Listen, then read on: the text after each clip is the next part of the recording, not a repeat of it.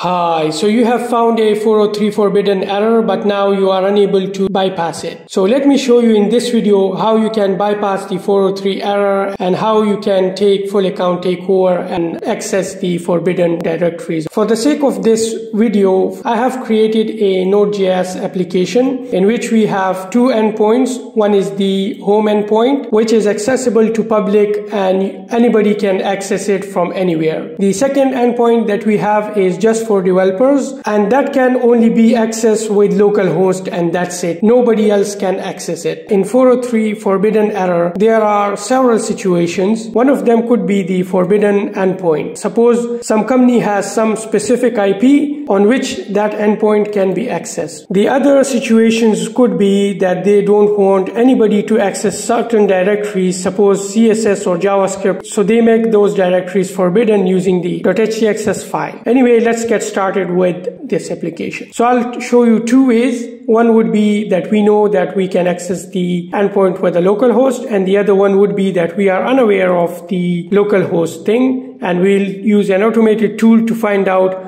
how we can exploit the endpoint or how we can bypass the 403 forbidden error. So just to show you the application at front end, we have this endpoint, which is the home endpoint and it is accessible to anybody. I can access with the IP address as well as with the local host. The other endpoint is the developers, which cannot be accessed from the IP address. It can only be accessed with the local host. In order to bypass this, I will send a request to this endpoint and then grab it in the burp suite. I have already fired up the burp suite, so we have this request. I will come over and send the request to repeater. Come to the repeater and just to make sure, it is always a good practice that you rename your tabs.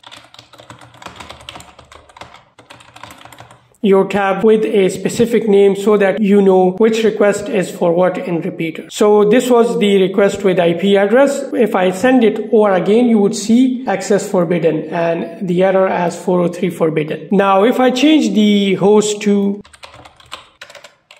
localhost and then send the request, you would see access granted. This is what we wanted. Just with a simple trick, we have bypassed 403 forbidden error. The next thing I want to show is that you don't know about this local hosting. So for that, what you can do is you need to split terminal first so that our application is running as well as can have another thing. So I'll come over to the browser and search for 403 bypass GitHub and you would see quite a few things. The first one we can try is this bypass 403. The other one we can use is don't go. These both tools work similarly, but the only difference between them is the installation. In order to install the bypass 403, it is a shell script, so you need to make it first the executable and then you can run it pretty much like this. But for the don't go 403, it is a Go language, so you need to first clone it and then you need to build it in the Go. For that, you need the Go language. So if you are up for that, you can use that. If you are not, the SH don't want you to install anything. So you can use that. I will show you both. Let's, let's do that. So I'll copy the URL of 403 bypass. I'll come over to my shell directory and I'll take it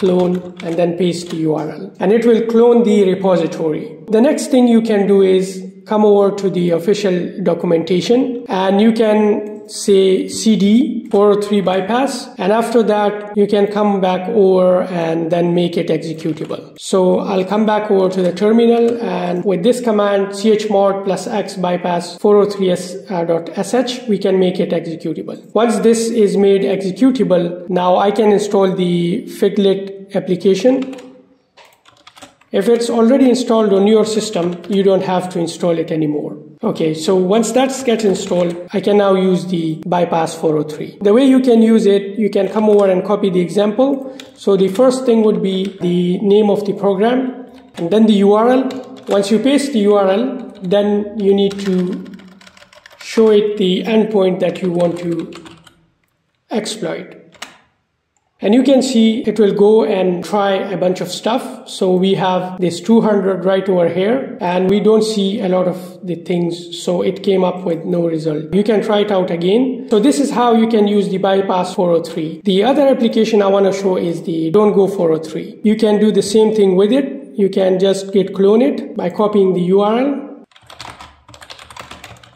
Once you clone it, the next thing you want to do is enter to the directory and then you need to say go get and after go get you can just go build it. Once the go build finishes, you are all set to go and exploit the 403 error. So the way you can do it by coming over to the terminal, writing down the name of the application and then the endpoint that you want to bypass.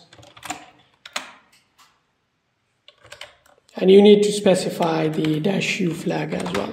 So you can see it has started and it have it had found some 200 so some of them would be false positive and some of them would work so you can try one by one the only one that you uh, need to try is the one with a 200 status code. Now the video is getting long so in the next video we can work on the same thing in a great details and that would be a WordPress website. So this is pretty much it for this video. I hope you did learn how to bypass the 403 error. Have a pleasant day. Bye for now and I will see you in the next video.